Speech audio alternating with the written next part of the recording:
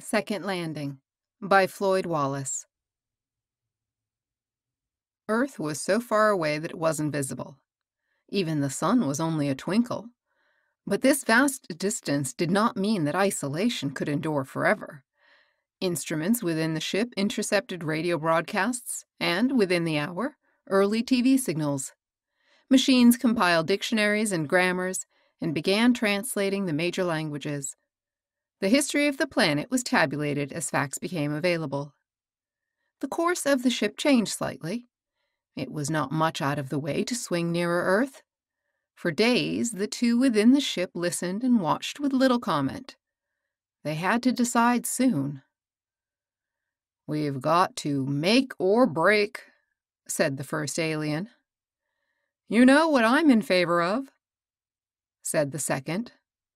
I can guess, said Ethaniel, who had spoken first. The place is a complete mess. They've never done anything except fight each other and invent better weapons. It's not what they've done, said Ball, the second alien. It's what they're going to do with that big bomb. The more reason for stopping, said Ethaniel. The big bomb can destroy them. Without our help, they may do just that. I may remind you that in two months, 29 days, we're due in Willafors, said Ball. Without looking at the charts, I can tell you we still have more than a hundred light years to go. A week, said Ethaniel. We can spare a week and still get there on time. A week? said Ball to settle their problems. They've had two world wars in one generation, and that the third and final one is coming up, you can't help feeling in everything they do. It won't take much, said Ethaniel. The wrong diplomatic move or a trigger happy soldier could set it off. And it wouldn't have to be deliberate. A meteor shower could pass over, and their clumsy instruments could interpret it as an all out enemy attack. Too bad, said Ball. We'll just have to forget there ever was such a planet as Earth. Could you? Forget so many people? I'm doing it, said Ball. Just give them a little time, and they won't be here to remind me that I have a conscience. My memory isn't convenient, said Ethaniel. I ask you to look at them. Ball rustled, flicking the screen intently. Very much like ourselves, he said at last. A bit shorter, perhaps, and most certainly incomplete. Except for the one thing they lack, and that's quite odd. They seem exactly like us. Is that what you wanted me to say? It is, the fact that they are an incomplete version of ourselves touches me. They actually seem defenseless, though I suppose they're not. Tough, said Ball. Nothing we can do about it. There is. We can give them a week. In a week, we can't negate their entire history. We can't begin to undo the effect of the big bomb. You can't tell, said Ethaniel. We can look things over. And then what? How much authority do we have? Very little, conceded Ethaniel. Two minor officials on the way to Willafors, and we run directly into a problem no one knew existed. And when we get to Willafors, we'll be busy. It will be a long time before anyone comes this way again. A very long time, there's nothing in this region of space our people want, said Ethaniel. And how long can Earth last? Ten years? Even ten months? The tension is building by the hour. What can I say? said Ball. I suppose we can stop and look them over. We're not committing ourselves by looking. They went much closer to Earth, not intending to commit themselves, for a day they circled the planet, avoiding radar detection, which for them was not difficult, testing and sampling. Finally, Ethaniel looked up from the monitor screen. Any conclusions? What's there to think? It's worse than I imagined. In what way? Well, we knew they had the big bomb. Atmospheric analysis showed that as far away as we were. I know. We also knew they could deliver the big bomb, presumably by some sort of aircraft. That was almost a certainty. They'd have no use for the big bomb without aircraft. What's worse is that I now find they have missiles, range 1,000 miles and upward. They either have or are near a primitive form of space travel. Bad, said Ethaniel, sitting there, wondering when it's going to hit them. Nervousness could set it off. It could, and the missiles make it worse, said Ball. What did you find out at your end? Nothing worthwhile. I was looking at the people while you were investigating their weapons. You must think something. I wish I knew what to think. There's so little time. Ethaniel said. Language isn't the difficulty. Our machines translate their languages easily, and I've taken a cram course in two or three of them. But that's not enough. Looking at a few plays, listening to advertisements, music, and news bulletins, I should go down and live among them, read books, talk to scholars, work with them, play. You could do that, and you'd really get to know them. But that takes time, and we don't have it. I realize that. A flat yes or no, said Ball. No. We can't help them, said Ethaniel. There's nothing we can do for them. But we have to try. Sure, I knew it before we started, said Ball. It's happened before. We take the trouble to find out what a people are like, and when we can't help them, we feel bad. It's going to be that way again. He rose and stretched. Well, give me an hour to think of some way of going at it. It was longer than that before they met again. In the meantime, the ship moved much closer to Earth. They no longer needed instruments to see it. The planet revolved outside the vision ports. The southern plains were green, coursed with rivers. The oceans were blue, and much of the northern hemisphere was glistening white. Ragged clouds covered the pole, and a dirty pall spread over the mid regions of the north. I haven't thought of anything brilliant, said Ethaniel. Nor I, said Ball. We're going to have to go down there cold, and it will be cold. Yes, it's their winter. I did have an idea, said Ball. What about going down as supernatural beings? Hardly, said Ethaniel.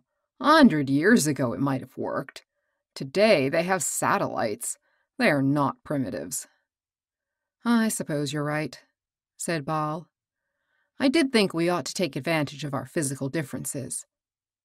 If we could, I'd be all for it. But these people are rough and desperate. They wouldn't be fooled by anything that crude. Well, you're calling it, said Ball. All right, said Ethaniel. You take one side and I the other. We'll tell them bluntly what they'll have to do if they're going to survive, how they can keep their planet in one piece so they can live on it. That'll go over big. Advice is always popular. Can't help it. That's all we have time for. Special instructions? None. We leave the ship here and go down in separate landing craft. You can talk with me any time you want to through our communications, but don't unless you have to. They can't intercept the beams we use. They can't, and even if they did, they wouldn't know what to do with our language. I want them to think that we don't need to talk things over. I get it. It makes us seem better than we are. They think we know exactly what we're doing, even though we don't. If we're lucky, they'll think that. Ball looked out of the port at the planet below. It's going to be cold where I'm going. You too. Sure, we don't want to change our plans and land in the southern hemisphere? It's summer there. I'm afraid not. The great powers are in the north. They're the ones we have to reach to do the job. Yeah, but I was thinking of that holiday you mentioned. We'll be running straight into it. That won't help us any. I know. They don't like their holidays interrupted. It can't be helped. We can't wait until it's over. I'm aware of that, said Ball. Fill me in on that holiday. Anything I ought to know? Probably religious in origin. That so? It was religious a long time ago, said Ethaniel. I didn't learn anything exact from radio and TV. Now it seems to be chiefly a time for eating, office parties, and selling merchandise. I see. It has become a business holiday. That's a good description. I didn't get as much of it as I ought to have. I was busy studying the people, and they're hard to pin down. I see. I was thinking there might be some way we could tie ourselves in with this holiday. Make it work for us. If there is, I haven't thought of it. You ought to know. You're running this one. Ball looked down at the planet. Clouds were beginning to form at the twilight edge. I hate to go down and leave the ship up here with no one in it. They can't touch it. No matter how they develop in the next hundred years, they still won't be able to get in or damage it in any way. It's myself I'm thinking about, down there, alone. I'll be with you, on the other side of the earth. That's not very close. I'd like it better if there were someone in the ship to bring it down in a hurry if things get rough. They don't think much of each other. I don't imagine they'll like aliens any better. They may be unfriendly, Ethaniel acknowledged. Now he switched a monitor screen until he looked at the slope of a mountain. It was snowing and men were cutting small green trees in the snow. I've thought of a trick. If it saves my neck, I'm for it. I don't guarantee anything, said Ethaniel. This is what I was thinking of. Instead of hiding the ship against the sun where there's little chance it will be seen, we'll make sure that they do see it. Let's take it around to the night side of the planet and light it up. Say, pretty good, said Ball. They can't imagine that we'd light up an unmanned ship, said Ethaniel. Even if the thought should occur to them, they'll have no way of checking it. Also, they won't be eager to harm us with our ship shining down on them. That's thinking, said Ball, moving to the controls. I'll move the ship over where they can see it best, and then I'll light it up. I'll really light it up. Don't spare power. Don't worry about that. They'll see it. Everybody on Earth will see it.